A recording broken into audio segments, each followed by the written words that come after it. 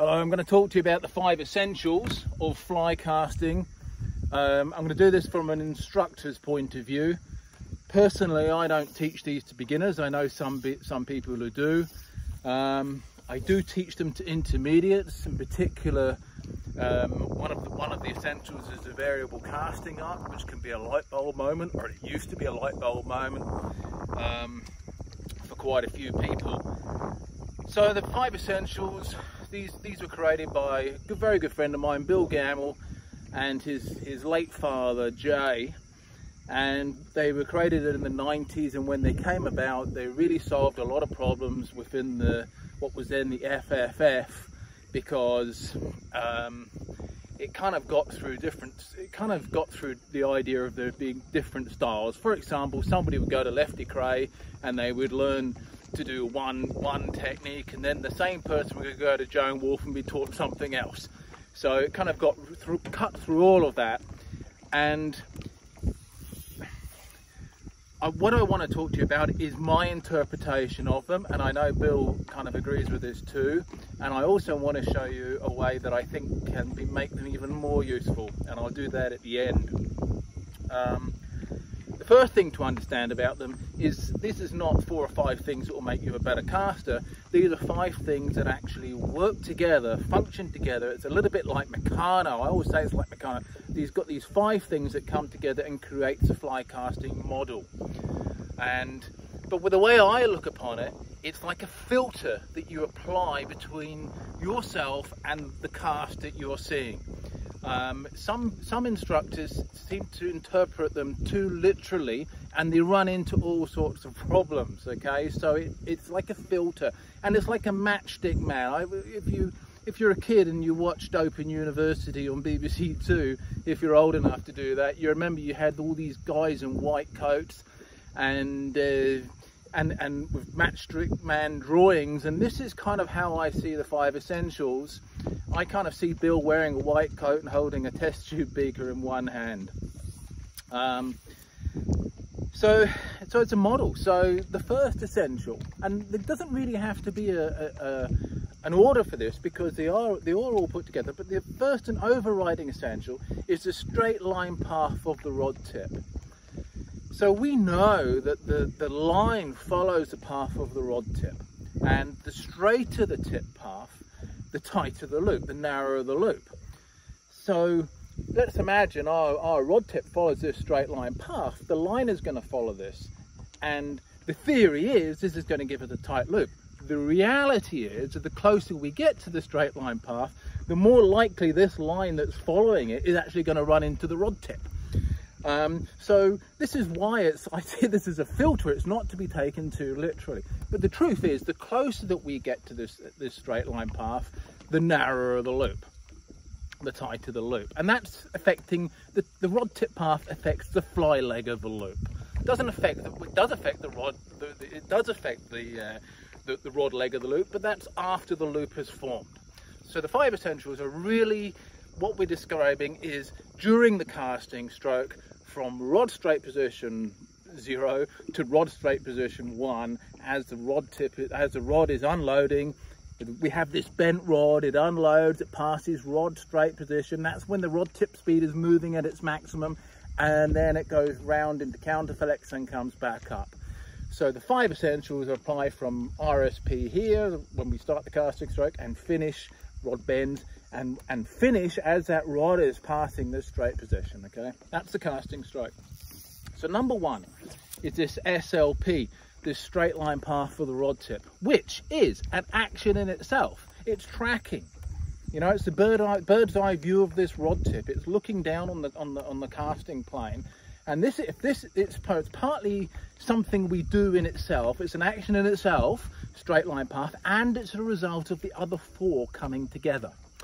So we have a few drills. I always include, if I talk to this, if I do this with instructors, I include drills. You know, for tracking, there is obviously a drill there where uh, probably a good one is to imagine you're casting along the side of a wall, maybe even get a football field where you've got a line here, make a few casts and then just drop your back cast and see where it is, okay?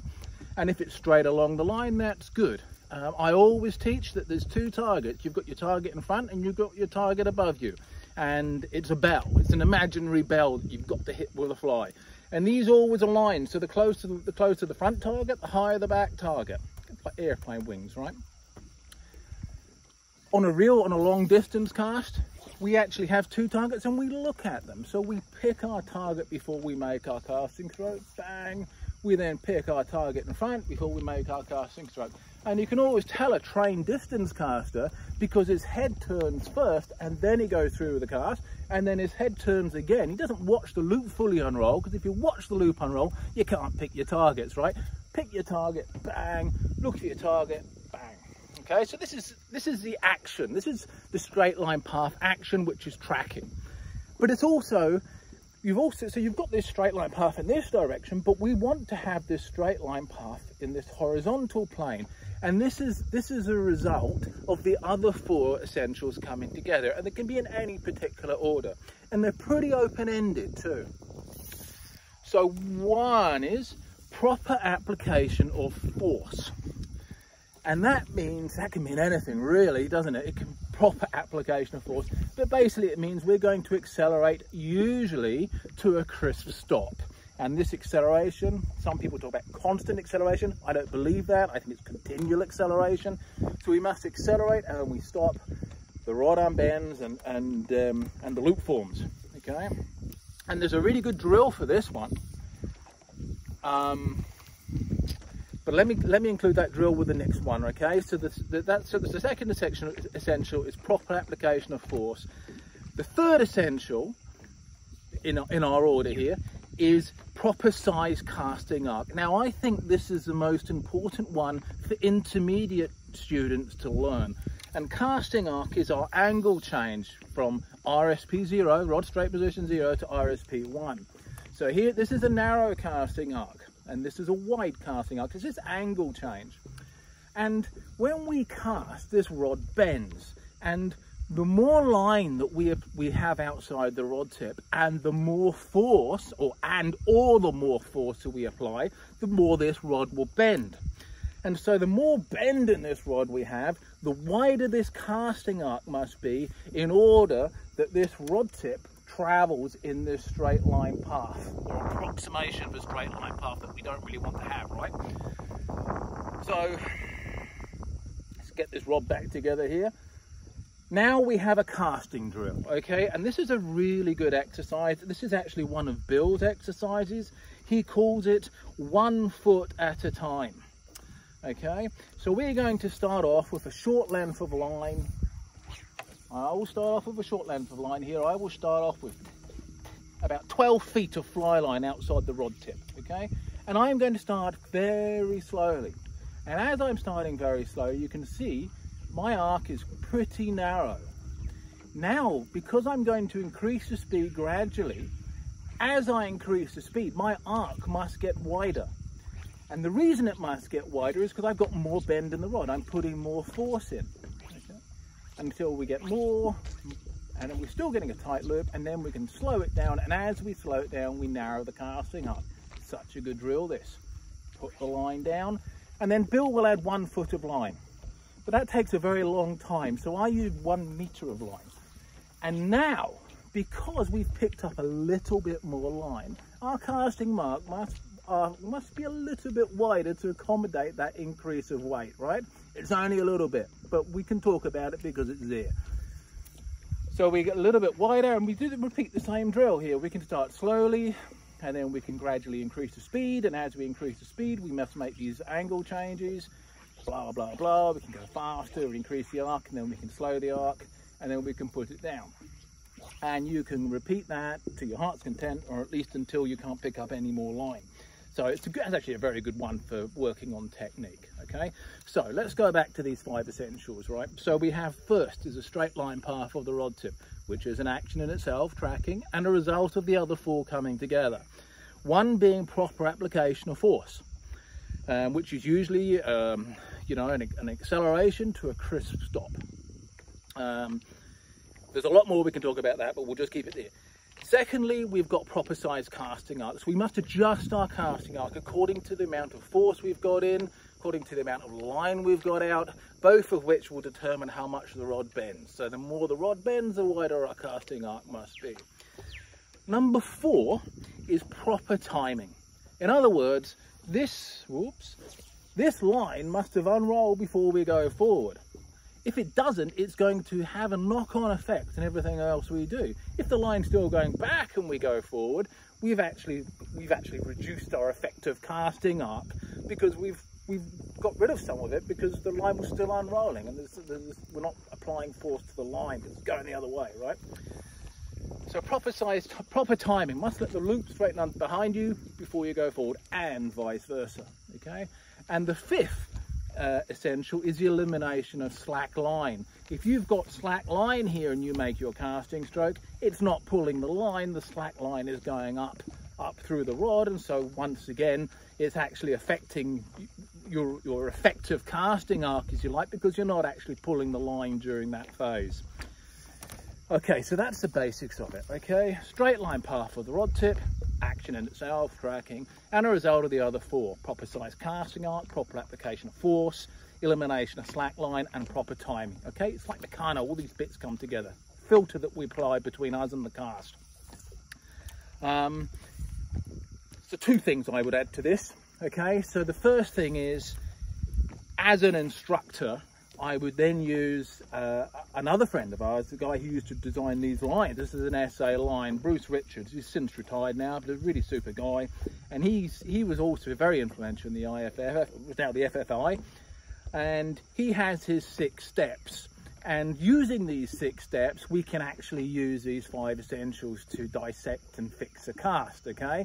So, for his six steps start with what does the loop do? Okay, so we're going to start off with a loop. In this particular case, let's have a really big fat loop. Okay, we've got these big loops here. So step number two is, what is the rod tip doing to create this big open loop? And that's going in this big doming shape, okay? So then, step number three is, why is that happening? What is a hand body? What is a hand slash body doing? Well, in this particular case, I'm just using a big wide arc with the hand, a big floppy wrist, okay? So then we say, well, let's fix that. Let's move the wrist through less through through uh, less of a less, less, movement. Let's restrict that arc. Okay, so there's less movement, and and then what does that do? Well, it straightens the rod tip path, and of course that's number five. And then number six is the result of the straight line path is a tighter loop. And if only fly casting instruction was easy as that, we'd be out of a job, right? But that is basically the, the, the steps that we go through. Now there's one last thing I would like to do to this because it's this is this is bit that's actually come from me. Okay, so I looked at these. We've been using these for I've been using them for about 20, 20 odd years, 25 years, and um, and the problem with it is it's all is all reliant upon this idea of this straight line path, which is is a, is it's true, but it's also a little bit of myth. It's not quite what we want, and it only applies to a straight line cast. So I've said, well, what about instead of straight line path, we have intended tip path. You know, we have proper application of force, we have proper size casting arc. They're all pretty open-ended. Well, let's just make the tip path open-ended. Let's just have the tip path. Maybe don't, even, maybe don't even want to have intended. We can just say the tip path is a result of these five essentials, which is tracking, application of force, um, casting arc, um, uh, uh, elimination of slack line and proper timing, right? So that we could just say the tip path is a result of these things. We can get rid of this idea of this straight line path and then it's something we can apply. So there are times when we actually want to affect the tip path during our casting stroke. Um, for example, you know, we we might intentionally want to throw tails, fuck it, okay? So there's a, there's a mangrove cast where we throw tailing loops and the fly comes under and skips under. So there you go. There's one, there's one use of doing it. But there's plenty of times you might want to throw an open loop. You might want to throw a collapse cast. You know, a very useful stream cast. We dome the power application and the leader doesn't fully straighten and the fly lands at the end of, at the end of the line. Nymph sinks, we catch our big fish. Okay. So yeah, there you go. So my perspective of it is, I, I teach instructors to do it because it's all over, the, particularly it's all over the FFF test, any or the FFI test now. You can answer pretty much any question using this structure. Um, I don't apply them literally.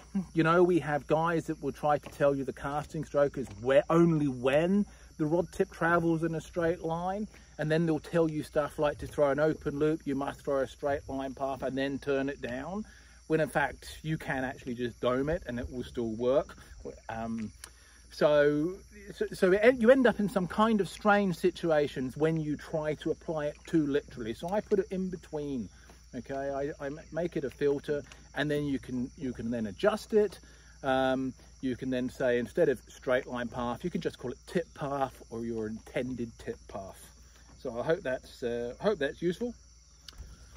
Cheers mate